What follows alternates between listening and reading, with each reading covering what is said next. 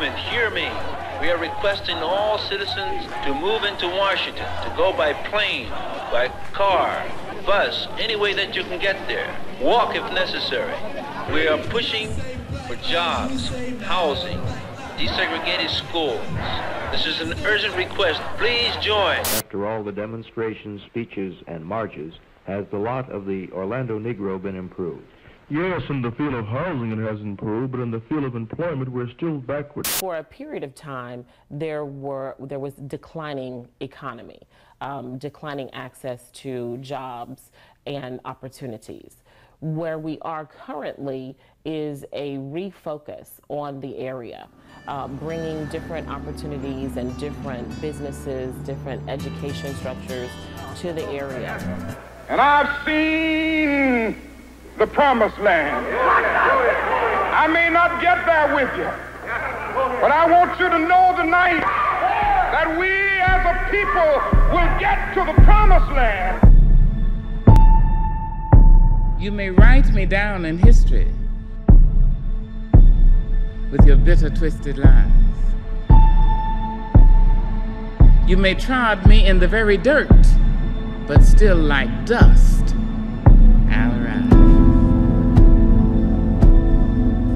Does my sassiness upset you?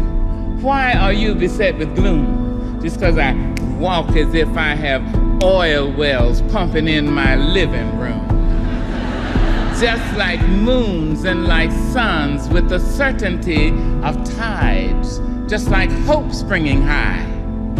Still I rise. Did you want to see me broken? Bowed head and lowered eyes, shoulders falling down like teardrops, weakened by my soulful cries.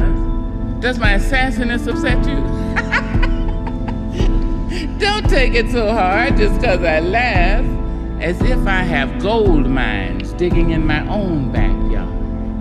You can shoot me with your words, you can cut me with your lies, you can kill me with your hatefulness, but just like life, all right. Does my sexiness offend you? Does it come as a surprise that I dance as if I have diamonds at the meeting of my thighs? Out of the huts of history's shame I rise. Up from a past rooted in pain I rise. A black ocean leaping and wide, welling and swelling and bearing in the tide. Leaving behind nights of terror and fear I rise. Into a daybreak miraculously clear I rise bringing the gifts that my ancestors gave. I am the hope and the dream of the slave and slave.